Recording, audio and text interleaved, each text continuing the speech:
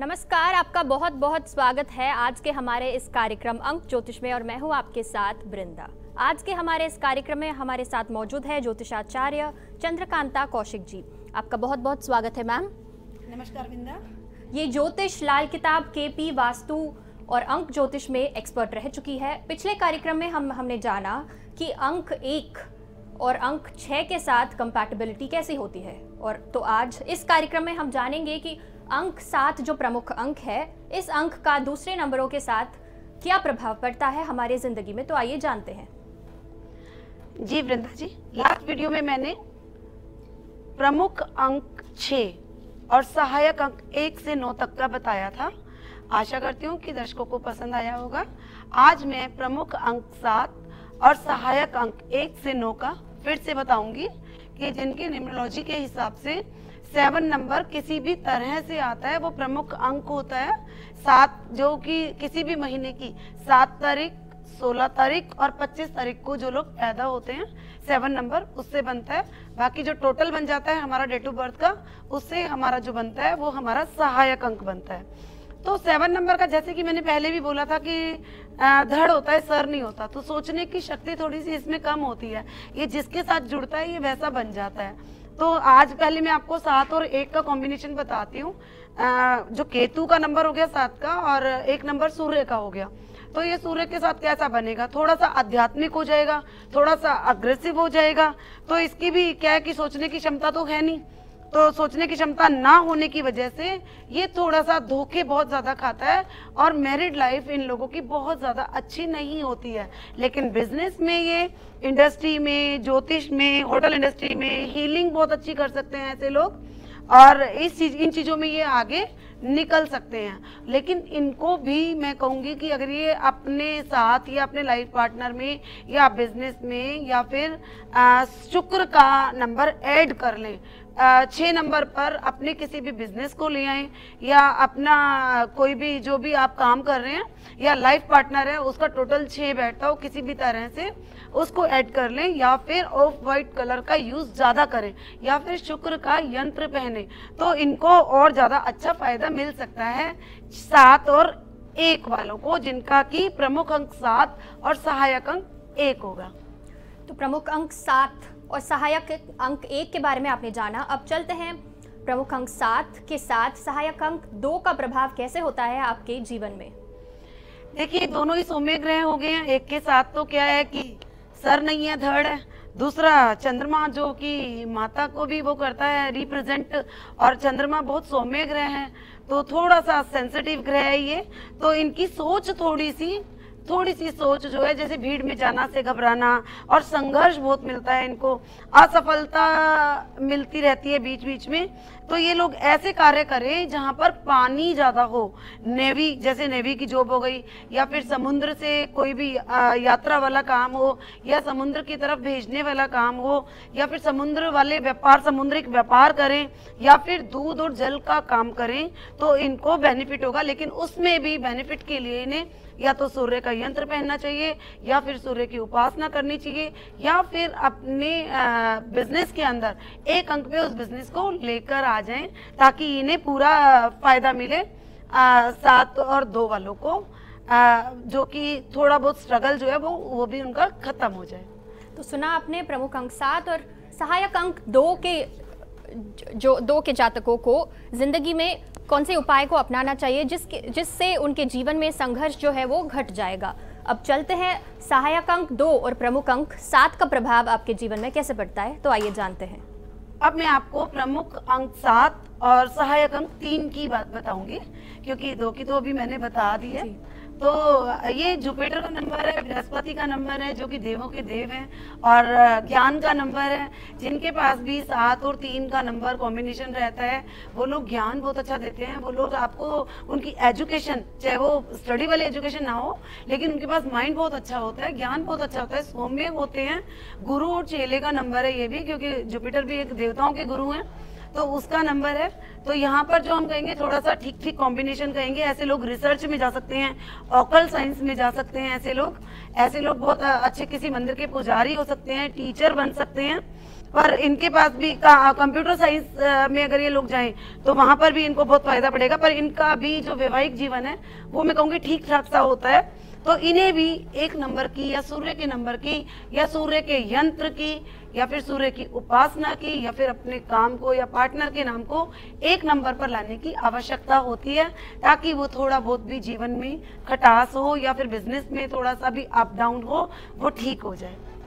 तो सहायक अंक तीन के बारे में आपने जाना कि किन किन क्षेत्रों में उन्हें जाना चाहिए, जिससे उन्हें ज़्यादा सफलता मिलेगी और इन उपाय का प्रयोग आप ज़रूर करें। अब बढ़ते हैं नंबर चार की ओर, सहायक अंक नंबर चार, जो कि प्रमुख अंक नंबर सात के साथ उसका प्रयोग क्या होता है तो आइए जानते हैं। सात प्रमुख अंक और चार सहायक अंक। सात और चार का कॉम्बिनेशन एक दूसरे को पूरक करता है क्योंकि यहाँ पर एक का धड़ नहीं है तो एक का सर नहीं है। तो वो दोनों मिलकर बहुत ही अच्छा एक कॉम्बिनेशन बन जाता है लेकिन फिर भी स्ट्रगलिंग लाइफ तो इनकी भी रहती ही रहती है। लेकिन ये लोग मीडिया के क्षेत्र में बहुत अच्छी आ, मतलब ख्याति प्राप्त कर सकते हैं। और इंपोर्ट एक्सपोर्ट के बिज़नेस में बहुत अच्छी ख्याति प्राप्त कर सकते हैं। समाज सेवी बहुत अच्छे हो सकते हैं ओकल साइंस में ये लोग भी जा सकते हैं। ये लोग भी बहुत अच्छे हीलर होते हैं।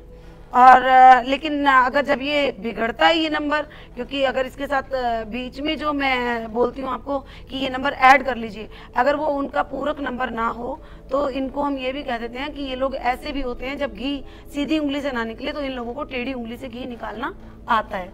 तो ये लोग थोड़ा तो थोड़ा सा नंबर ऐसा है, पर इन्हें भी मैं कहूँगी कि एक नंबर ऐड करना चाहिए। अगर इनकी कुंडली में एक नंबर की दिक्कत है, एक नंबर कम है, बैलेंस कम है तो इन्हें भी सूर्य की उपासना, सूर्य का यंत्र और या फिर कलावा रेड कलर का अपने हाथ में बाँध कर रखना चाहिए।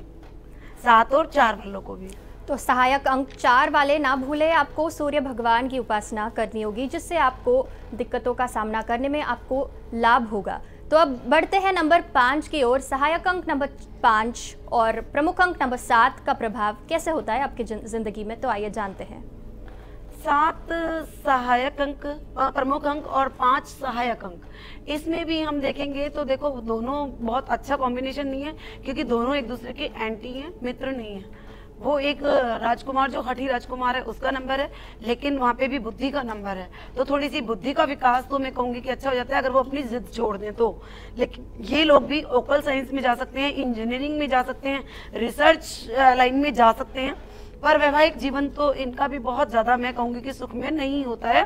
लेकिन ये भी अगर अपने साथ छः नंबर को ऐड कर लें, सात और पाँच वाले, अगर ये छः नंबर को ऐड कर लेते हैं तो इनके जीवन के अंदर लग्जूरियस और जो सुखों की कमी होती है, जो वैवाहिक जीवन में सुख की कमी होती है, या फिर जो बिज़नेस में इंडस्ट्री में इनको कोई दिक्कत आती है, वो काफ़ी हद तक इनकी ठीक हो जाती है। तो इनको छः नंबर का या तो ऑफ़ वाइट कलर का ज़्यादा यूज़ करना चाहिए, या अपने बिज़नेस को छः नंबर पर ले आना चाहिए, या फिर पार्टनर का नंबर छः नंबर पर लेके आ जाएँ तो इनको काफ़ी इससे सहायता मिलेगी।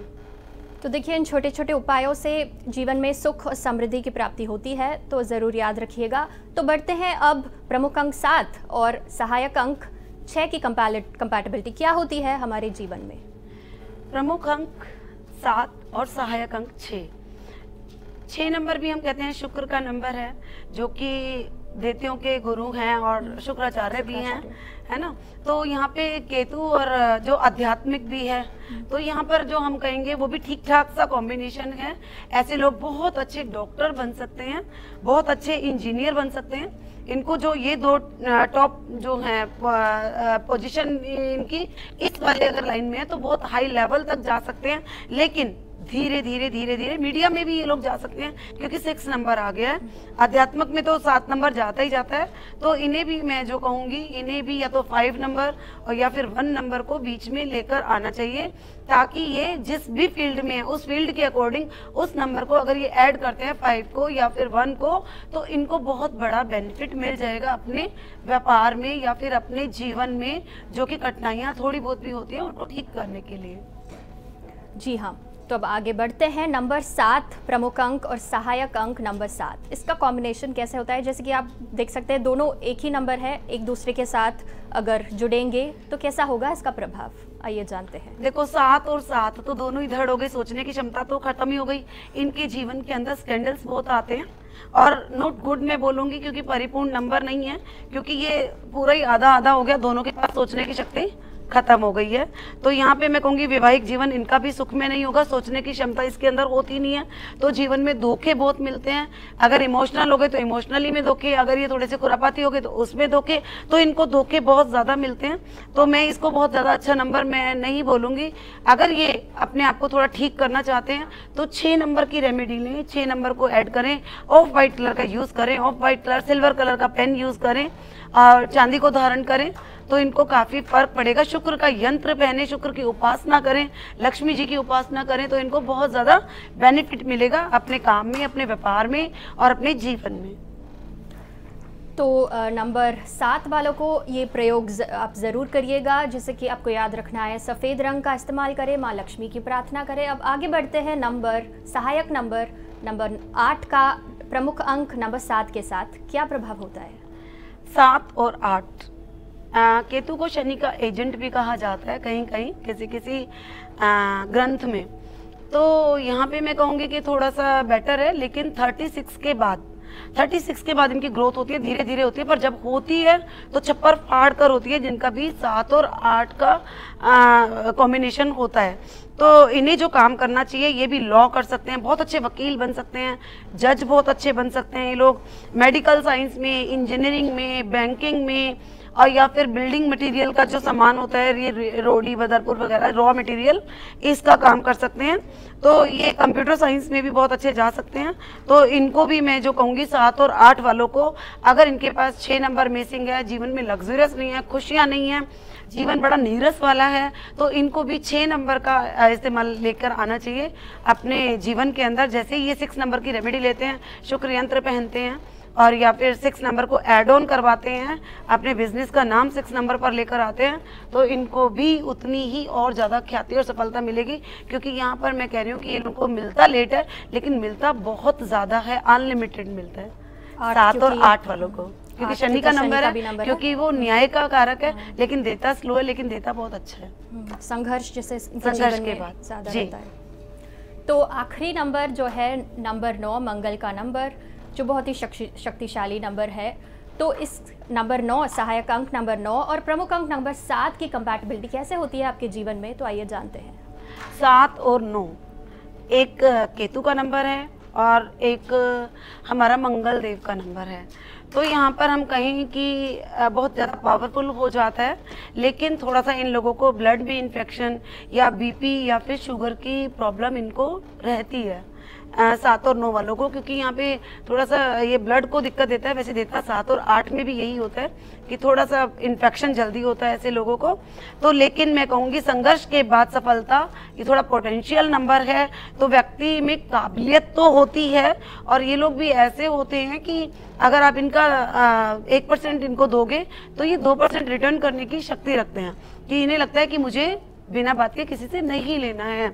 और हेल्थ का थोड़ा इन्हें लेकिन ध्यान रखना चाहिए, क्योंकि इन लोगों के डॉक्टर के पास बहुत चक्कर लगते रहते हैं जनरली तो इन्हें मैं कहूँगी ये सूर्य और शुक्र के नंबर को अगर एड ऑन कर लेते हैं, जैसी इनको दिक्कत होती है उसके अकॉर्डिंग अगर ये वो नंबर एड ऑन कर लेते हैं तो इस बीमारी से या फिर अपने जीवन में जो इनको दिक्कतों का सामना करना पड़ता है, वो इनको नहीं करना पड़ता है। तो इनके लिए एक नंबर और छः नंबर ये ऐड कर सकते हैं। और अगर नहीं भी किसी को समझ में आ रहा है तो स्क्रीन पर मेरा नंबर चला होता है। दर्शक फ़ोन कर कर पूछ सकते हैं कि भाई मेरे को कौन सा नंबर ऐड करना ज़रूरी है? अपनी प्रॉब्लम के अकॉर्डिंग पूछने के लिए वो कॉल कर सकते हैं। तो प्रमुख अंक नंबर सात और सहायक अंक नंबर नौ का आपने जाना और सारे नंबरों का प्रभाव नंबर सात के साथ कैसा होता है, ये आपने जाना इस कार्यक्रम में। देखिए, अंक ज्योतिष में हर हर अंक का कोई ना कोई प्रभाव आपकी ज़िंदगी में होता ही है चाहे वो सकारात्मक प्रभाव हो और नकारात्मक प्रभाव हो और उसका उनका उपाय आपके जीवन में अगर संघर्ष आता है तो उसका उपाय क्या होता है कैसे करना चाहिए उन, उन उपायों का प्रयोग ताकि आपको जीवन में संघर्ष कम हो जल्दी सफलता मिले ये सब आपने जाना हमारे ज्योतिषाचार्य डॉक्टर चंद्रकांता कौशिक जी का। आपका बहुत बहुत धन्यवाद। आपका बहुत बहुत धन्यवाद। और इस कार्यक्रम का अंत करते हैं। मिलते हैं आपके साथ अगले एपिसोड में। हमें दीजिए इजाज़त। नमस्कार।